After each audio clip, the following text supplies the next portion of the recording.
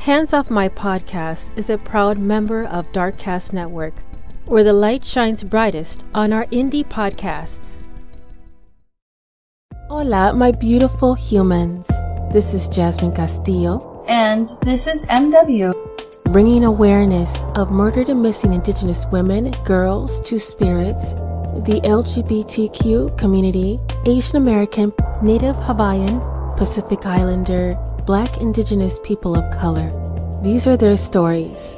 So, welcome to Hands Off, my podcast. In this episode, I get to speak with Arlene Harbison, who is the niece of Leon Laureles, and she has continued fighting for justice for her uncle, whose body was found along FM 2126 on May 10, 1996, in Brownwood, Texas. This has been a long journey of justice, and for the past 26 years, Arlene has been doing this on her own, creating a Facebook page as well as a GoFundMe to hire their own private investigator. Here is Leon Laureles live through the eyes of Arlene Harbison.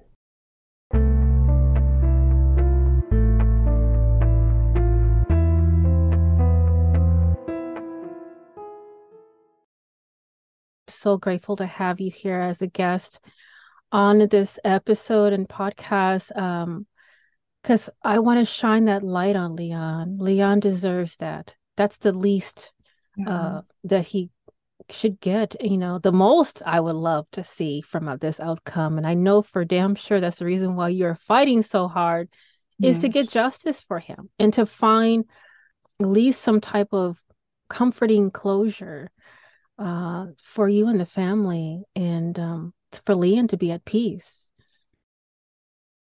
Some of the articles, as well as knowing I did mention just briefly that I am part of the uncovered.com community. And uh, there is a lot of the podcasts that you have actually gone and done so far since 2021, mm-hmm. I believe. Uh, some of them are actually like the fall line, um, mm-hmm. Gone Cold in Texas Crime. Um, and there is a great timeline that they have available there as well, which was very, very useful for me as well as for anyone else who is looking in depth and in following your uncle's story.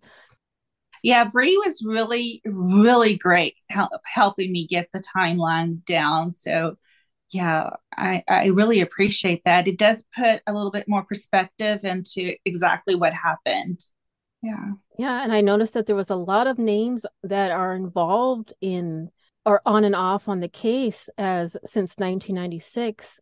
Mm-hmm. Um, and then there was other names on there that were like previous law enforcement that were part of the case. And I mean, that is that is a wonderful start for someone to know more mm-hmm. or no one knew of that because right. I am from the LGBTQ community. Uh, you and I are very common. I I did too. I was married and had kids too, and now married to a woman for the last eleven years. So yeah, I kind of like came out late in life. Yeah. Or mostly it was because Leon and I were brought up in this strict um, Hispanic Catholic small conservative town. We were not for a long time we weren't even aware of you know our feelings or and then we just we knew we couldn't talk about it with our families. Mm-hmm. and so for both of us it took us a long time to you know be comfortable with who we are. And he was just starting to come out at that time. And that's what really breaks my heart because he was finally being who he was meant to be and he was comfortable with that and starting to date. And he was he was deprived of finding the love of his life, getting married, having kids, you know, and getting to know my grandkids. All of that was taken away from him. I think that's the hardest part for me because of if anybody deserved that happiness, it was him. Mm-hmm. And that was taken from him. Oh, that is it just it it's so upsetting. I know. It's that's just when I think about his death, that's what hurts me the most, knowing that he didn't get to have all of those things that everyone else does, that this killer is had. But Leon didn't have that because it was taken from him, and he was the best person you would ever meet, and he deserved that more than anyone else to find his happiness, you know? Just the thought of how long it takes. I mean, it takes a lifetime mm-hmm. in some instances to find that special someone. And his mm-hmm. journey just started. And that just exactly infuriates me because exactly. even though he has lived his life for those past 30 years, his life didn't become truly his until he became his true self his freedom. That was his freedom. Do you know how it's like people don't understand the concept of yeah. when you get to that level of the nirvana of who you really are, the freeness, the chains have been broken from the constant ridicule or the constant reconstruction or the race to, to under to be aware of you know, girls are supposed to wear dresses and exactly. you're not supposed to do that. That's what boys do. And and it's like it's a process. But can you also imagine like the courage it took? Yes. At that time, Brownwood was very homophobic. And so yeah. I, the courage it took for him. And not only that, like he never got to live for himself. He grew up taking care of his sick elderly parents. Then he took care of me. Then he took care of my kids. This was a time when it was he was living for himself. Mm-hmm. It took a lot of courage and he finally found somebody to date and then his life is taken. It's like it's so unfair. It is. Oh my gosh. It hurts me. I, I, I and I am right along with you and I've been here for going on eight years, and I have seen some things. Yeah. Um, you know how Texas is, yeah. Yeah, it ain't pretty, especially not for hey, us. So I get it. I understand that concept of how we were brought up, mm-hmm. um, the constant strictness in religion. Um, right. But the point of being a person of color and being in the um, Rainbow Mafia and then being in Texas, it's like worst oxymoron you could hear. And then, you know, the conflict between going through sundown towns because you're a, min- uh, a person of color, but then on top of that, going through towns where being an LGBTQ or being outward about your queerness is completely and unacceptable. Mm-hmm. And the hate crimes that come into that it's saddening. It's extremely saddening that. Yeah. I just wanted to add, you know, like yeah. he had many, many obstacles, not only at that time with the AIDS and, you know, where we lived, how he grew up. He didn't have the support of his family because he was afraid to come out to his family. Um, I knew because we grew up together. It wasn't anything we talked about, but I just knew. And so I can't, he was just so brave to, you know, finally decide to be who he is. And he didn't have a support system. And so I can't even imagine how hard that is. And I sometimes I have, at the time, I felt like okay, I know that he's, you know, dating now and making new friends. And so I kind of just left him alone because I wanted him to enjoy his time, you know, uh, finally being free, not having to take care of anyone else but himself. Mm-hmm. And so I didn't spend as much time with him as I always had. Um, but I thought it was because I was giving him his freedom. And then now I regret that I didn't, you know, ask him more questions and be more involved in his new life um, because I, I always wonder if there was something I could do. And so, you know, I always have that regret. You didn't expect this to happen. Nobody really, really in, expects this to happen. I know, but you yeah. expect everyone to live an old age, die in their sleep, and have the, the best life that they wanted. But yeah. nobody should put the blame on themselves because you didn't know that. It's You know, I you you put so much pressure on yourself. Don't it's I know. it's not I, your fault. You and everyone do tells me that, but I carry so much guilt with me because also that same day, um, I worked at Walmart, and so he would often come in, you know, and would talk to me. We'd chat for a while. He'd, you know, buy some stuff for his coworkers' birthdays or whatever. So we we did visit with each other several times a week. That day, um, I got off of work. I went into the parking lot. I saw his car there, and I stopped. I literally stopped and said, "Should I go back in and find him so I can talk?" But I have three kids. I'm really tired. So I went home. So I'll talk to him tomorrow. But tomorrow never came. And so I, I hate myself for not going back in to see him because that would have been the last time. And so I carry that with me every second of every day. Mm, Yeah. yes, it's all I can say, my dear. I am glad that you were able to have the opportunity to even be in his life, even though it was cut so short. Um, Yes, I was very blessed to have him. He he was my protector. He was my best friend. He was my person. absolutely, absolutely. What do you think that Leon valued most in life? Well, that was the easy one. Um, it was his family. Family always came first. Um, he literally lived his life for his family through caring for his parents, caring for me. He took care of my children, helped me raise them. Um, he took care of all of his nieces and nephews. So that was that was his main goal in life is to take care of his family.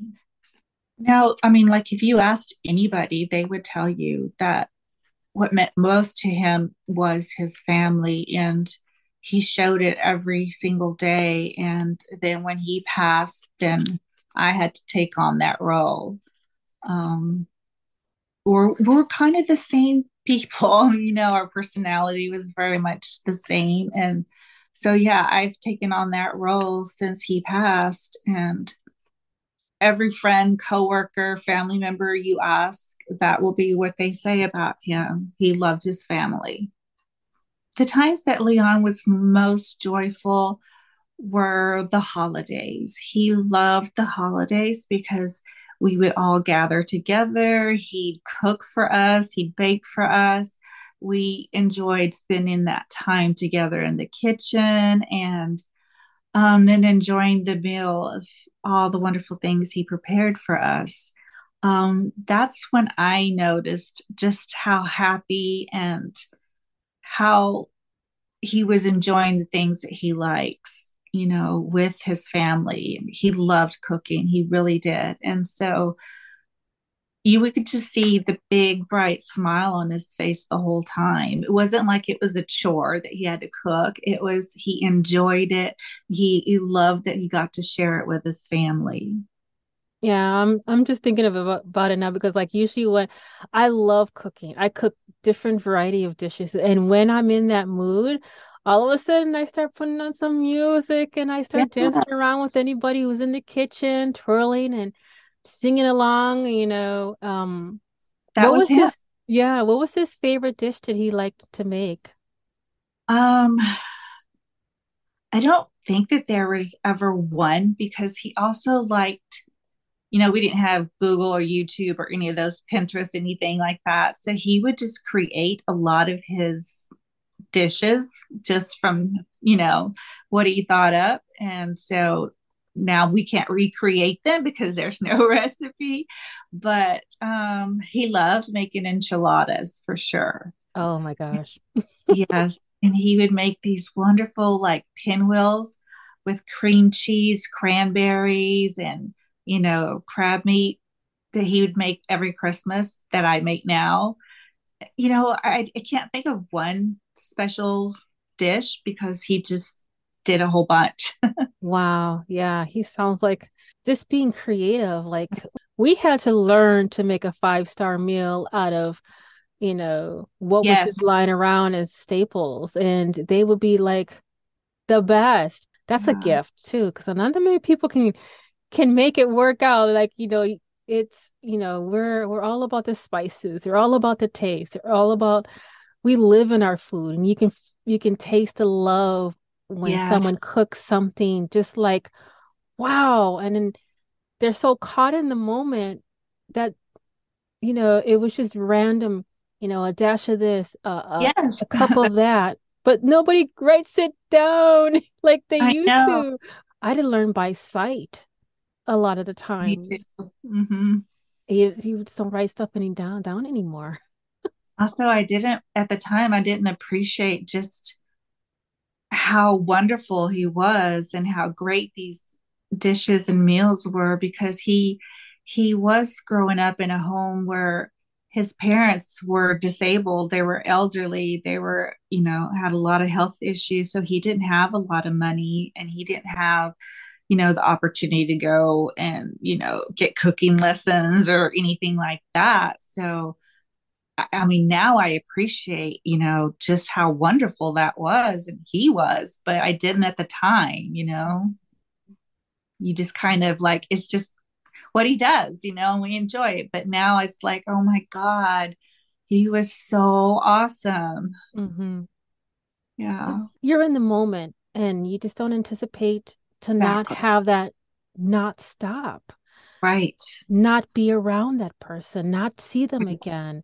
Yeah. Yeah, especially because we grew up together. He was just always there with me. I hmm never anticipated that he wouldn't be with me. Right. Exactly. Yeah. Exactly. But can you tell me some funny stories about the times that you spent together, if you recall? it wasn't funny memories, but memories of us being together is is love. Mm. I I felt his love all the time. It sounds like the relationship that you had was uh, like a a big brother or or or um a role Yeah. model in your life, and that I is call him my big brother and my protector. He was always my protector, saving me. That's what he was to me. Wow. Did you have any um favorite stories that you about your childhood, if there was um anything that you wanted to share? Whenever we um, became teenagers, we played in the high school band together. So we'd go to, you know, football trips together. Then we started going on Saturday nights. There'd be, um, you know, Mexican music band playing. And so we, we danced all the cumbias together. Um, he had a jukebox in his room. And so, yeah, we would just play music and just dance and, you know, be silly. I love those times, man. Like music, food, uh, it's like the, Yes, la the Latina culture. It's life, it's love, it's it some is people don't love. understand it though. It's like this is a whole nother level, y'all. Y'all don't know until you actually lived in a Latina home. We know how to mix it up, you know? Yeah, and that's how you express your love is through food and yes. music. And so, yeah, we that's what we enjoyed together. And it was just him and I doing that. So it was like extra special, you know? Mm-hmm. Exactly. Exactly. Yeah. Now, we had mentioned it before, and Leon had a made a couple of big decisions that have maybe directly or indirectly impacted his life. Can you tell exactly what those were? You know, one of the big decisions was um well, first it was when his parents passed away, he had nowhere to go. So, you know, he automatically went to help me because I was a single mom of a two year old. And so he moved in with me to help me raise my oldest son. And then I that I lived in San Angelo at that time. Then I moved to Brownwood and he moved in with me because I had more children. And that's when he started working the graveyard shift so that he could take care of my children during the day while I worked. And again, that's such a big sacrifice, you know, that he made. I, I didn't ask him to. He didn't have to do it. He just did. And then, you know, when my kids got older, then he moved in with his brother and he was starting to make friends and he decided to come out and start dating. That was huge. And he had, just before he was killed, he had told a friend that he was ready to come out with this person that he was dating, but the person he was dating did not want to come out. So he was having to struggle with that. Um, I think that's one of the probably the hardest decisions he had to make at that time. Yeah. But he didn't get the chance to, you know, go any further with that. Like I mentioned before, that is um that is brave and that's something like i said if you don't have the family or friend support in regards to coming out as gay in in the community it's a make it or break it situation um and leon didn't know that he was right. taking a chance like every other person who is in the queer community like myself right. i mean so it was a huge step for him and I don't know that that's what really hurts me because it was so hard, but he decided to make that decision and then he didn't get to explore that any further. Right. Yeah. To start a new chapter in his life, overcoming his fear and being who he really is. I mean, that's a beautiful like he's the chrysalis stage, you know, the metamorphosis stage of our lives. Yeah. And not seeing the results of it. It hits me how hard it is. Yeah. It, it, hits me because I know that struggle and just just being Texas in general, with all the stuff that's been going on with all these politicians and how they're passing things, you know, I'm living in Texas.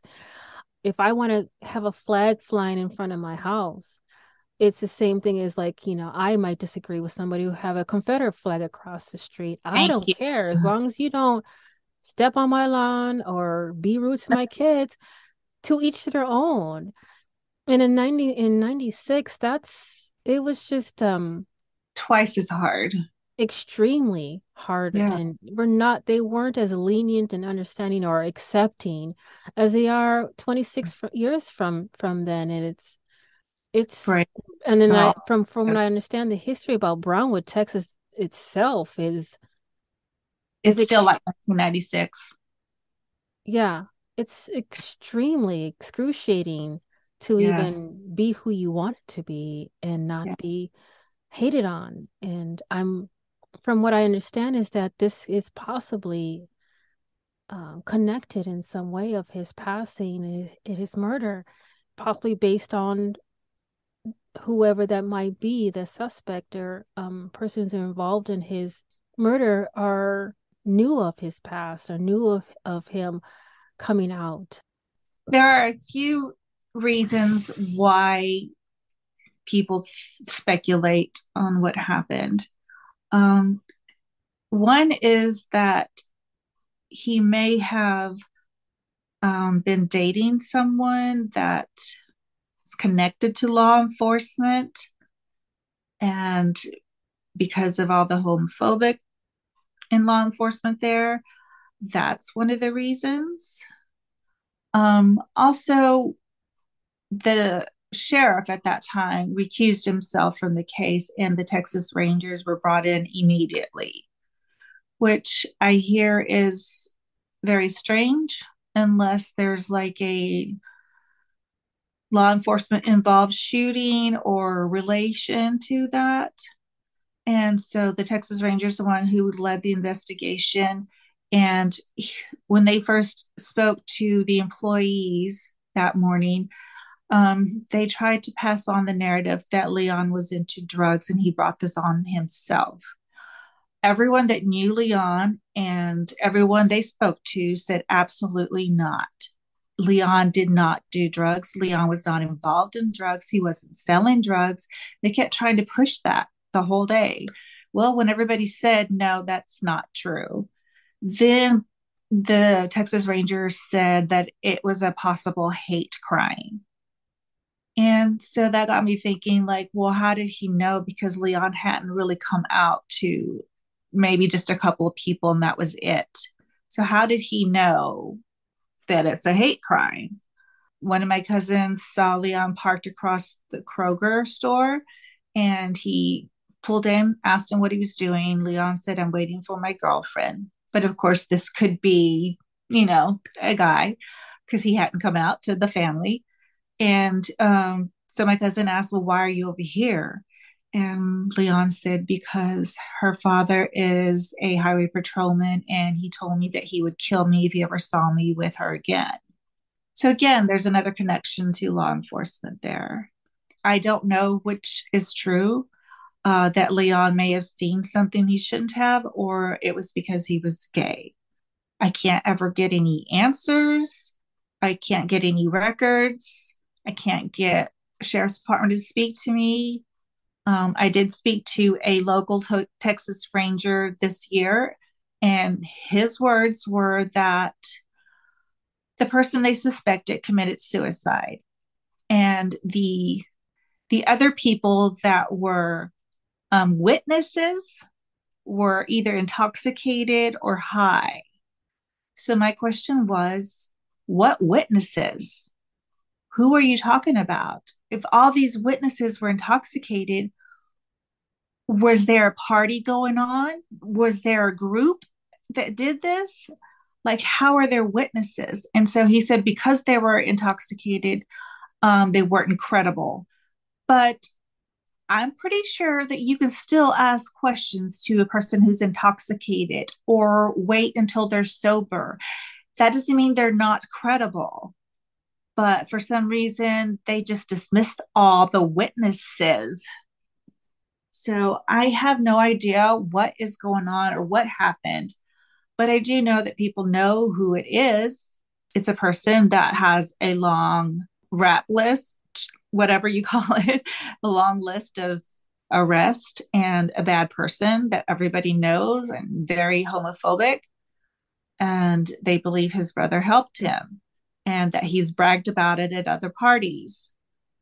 And mm. but this person has some kind of um, connection to law enforcement where he's allowed to do illegal things and not, you know, get in trouble for them. So I find that maybe that is the reason why no one has been arrested.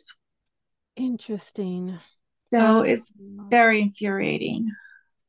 I'm trying to be as composed as possible because I actually went off on a tangent. My mind is just racing on how how the hell does someone consider another person's life meaningless or unfortunate circumstance? This happens to be like a trend in Brownwood. Um, oh. Um, this is not the first or the second unsolved murder that police know who did it but they are never arrested, even with evidence. With Leon's case, I believe they destroyed all evidence. Oh my gosh. Um, I spoke to the records keeper and I said, you know, I want to know if you've done any testing because, you know, all the improvements that have happened in the last 10 years, can we test it? Her answer was, we've done everything we can with what we have. So to me, that tells me they didn't keep his clothing. Um, I also cannot obtain a copy of his autopsy, even though it's public record and I'm family. Um, I have tried every which way possible, but I'm also told there probably wasn't one done because he was, we buried him two days later. And he was taken to a place where Brownwood never took their bodies to be autopsied. So I feel like that's the reason I can't get a copy is because there's not one. Um, there's just so many obstacles. I finally called the DA. His answer to me was, Why do you need the autopsy when we all know what his demise was? I was like floored. Okay. And I was like, Because I want to know if there's other injuries I want to know um, what exactly happened because no one has told me.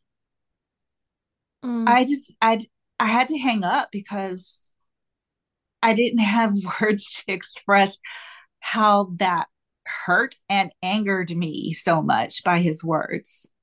Like how callous of you.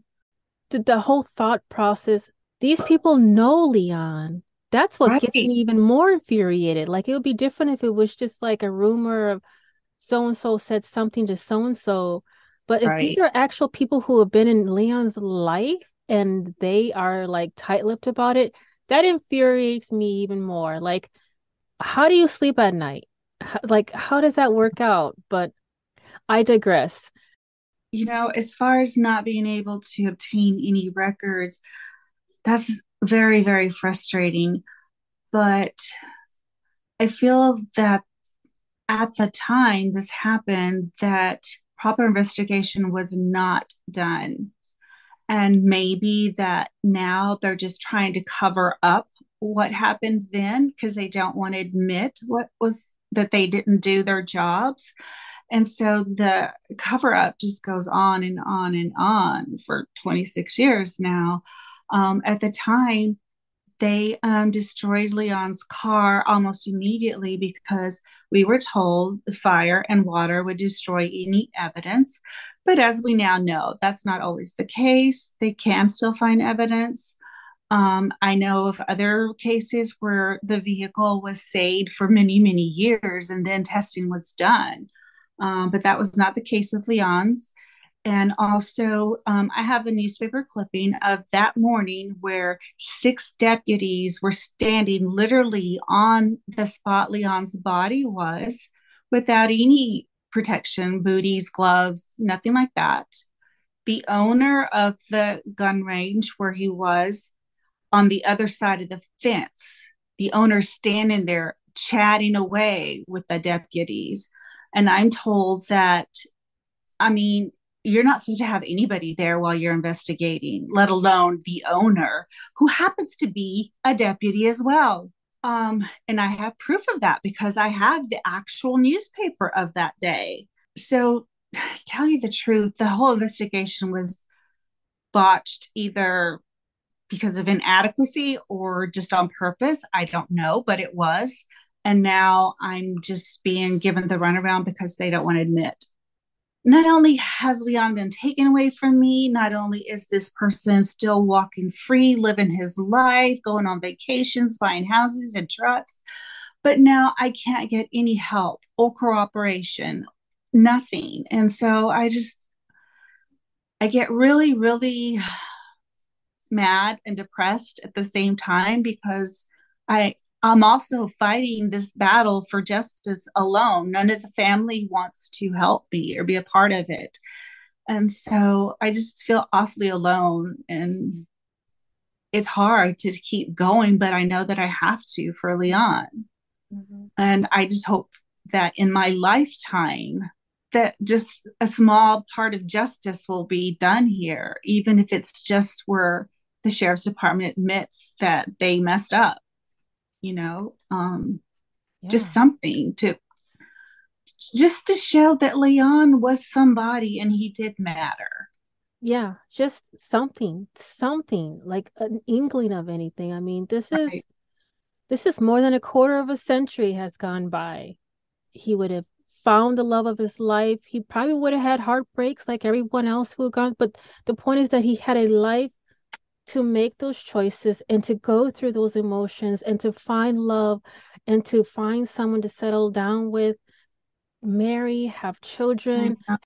I know. So That's... many things. Now, I mean, you know, if he did drop by, you know, what would be your exactly. ideal ideal thing that you would do to spend together? What would it look like?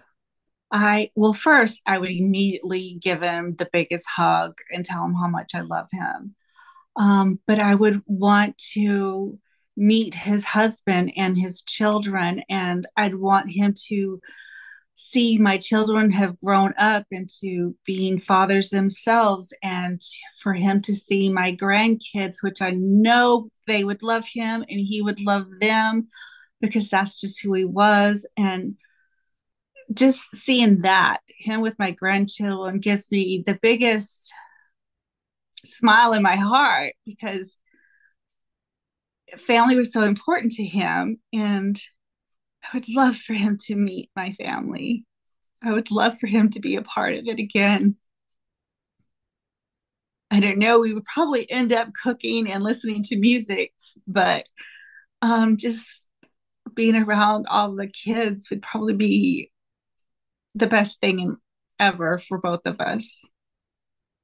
Hmm.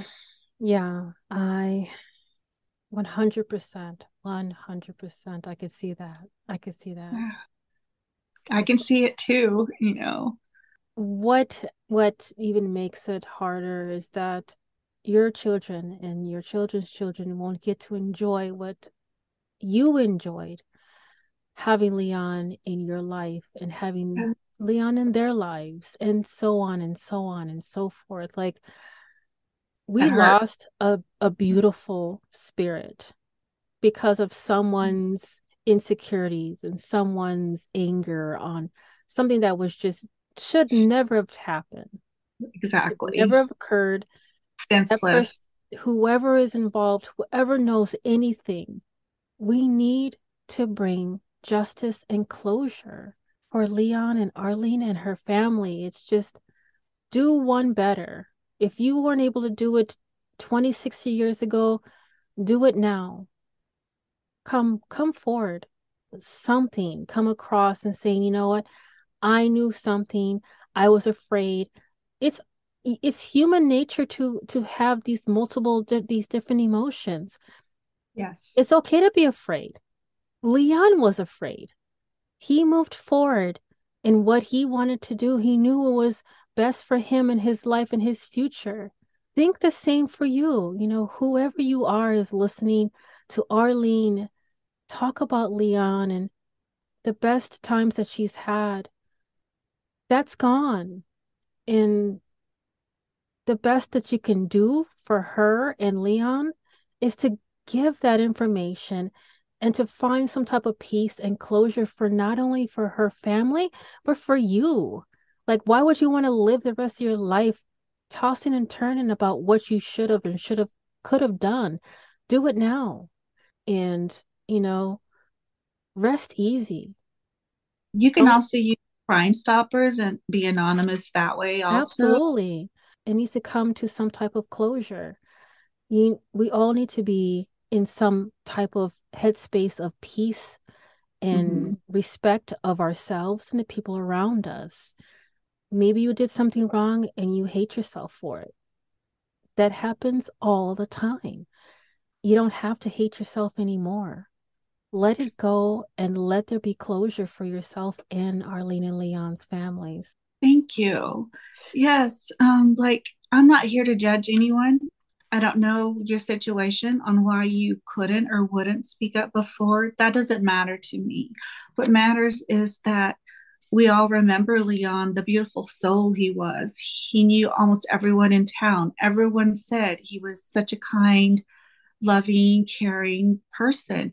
You know that about Leon. He was a beautiful soul. So he would do it for you. Please speak up now. Please give him some peace. Give me some peace. I, I will not I will not judge you. I promise. I just want Leon to not be forgotten.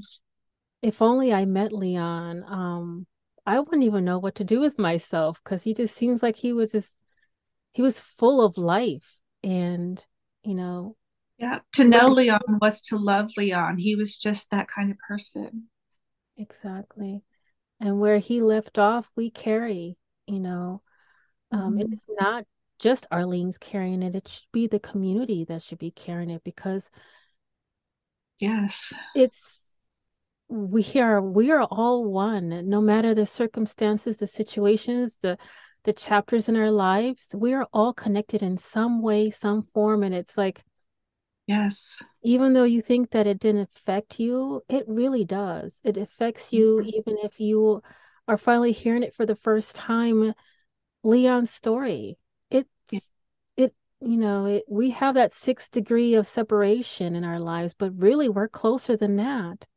genetically mm-hmm. hereditarily historically culturally on all levels any updates and news that you'd like to share that wasn't shared before on other podcasts um, yes, I got a call yesterday from uh, Cold Case Project, and they're going to feature Leon's case next Friday which I'm super excited about. Yes.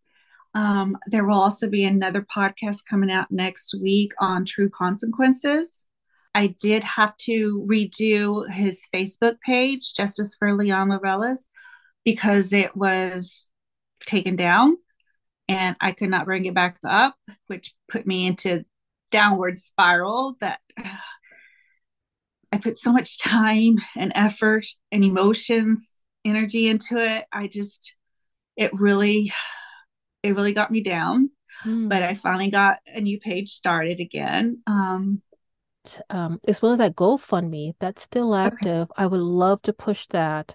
Um, yes. Um, because that is so in dire need right now. It's mm-hmm. been in dire need for 26 years. That's for damn sure. Um, it's, it's, that's also frustrating because you see some of these cases that have like $80,000 and it's taken me over a year to get $4,000 and that's only because of podcasters help, you know, and auctions and they've donated because otherwise I wouldn't have anything at all. There's many times where I just I do feel like quitting because there's so many obstacles that I face and it gets really hard, you know, mentally and but then I have to pull myself together and say, no, I can't quit because I have to do this for Leon. He would do it for me. So I have to do it for him. For sure. Talking about somebody's life, you know, it's not just a one short sentence mm-hmm. answer. Exactly. You know, a lot to people. So there's a lot of nuances. And I mean, that's how life is. Life is complex.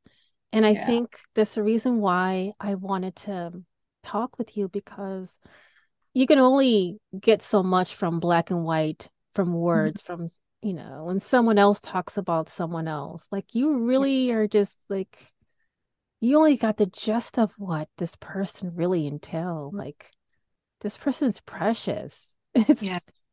so I love what I do because I want yeah. people to feel that. Like make it matter. It's right. not just it's not just a random person. This is a person who had love in their life a person mm-hmm. who was loved. That's what i try to express. Is like he did matter. He may be forgotten to most people but not to me. He mattered. Mm-hmm. and it's not it's not fair that his life was taken. And it's not fair to just forget him mm-hmm. it's not right and so that's the reason I started reaching out to podcasters because I want people to know who he was. I want people to know that he did matter and that someone needs to be brought to justice for what they did to him. It, you know, it's not right that they get to live their lives and Leon didn't. Yeah. So, yeah, I just need to share that with people in hopes that eventually somebody will be brave enough to speak up about what they know. I'm I kudos. And if anyone hasn't said anything, you know, anything to you, um, I commend you and I see you and I thank you for oh. being here on here, Arlene.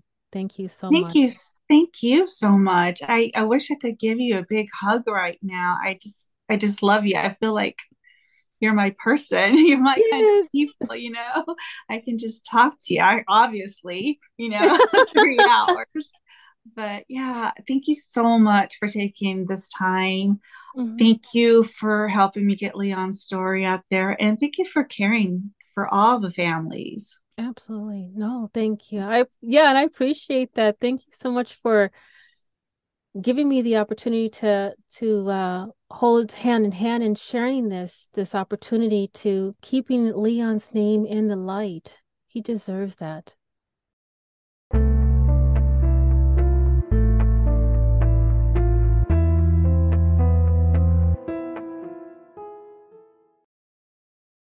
If you'd like to learn more information about the timeline of Leon Laureles, there is detailed information on uncovered.com, as well as if you have the opportunity to go through the GoFundMe and to donate to hire a private investigator.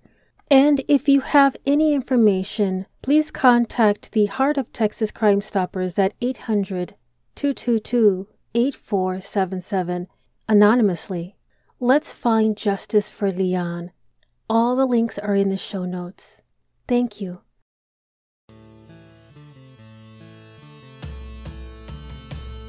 Thank you for listening to Hands Off My podcast.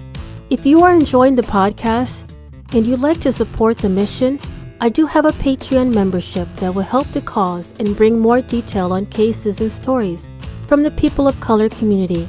If you yourself has a lost loved one or a story suggestion, please don't hesitate to contact me at email handsoffmypodcast at gmail.com. And if you are only able to support in another way, please give this podcast a five star rating on Apple or Spotify and continue to listen to upcoming episodes every Thursday, wherever you listen to your podcast. Dios te bendiga.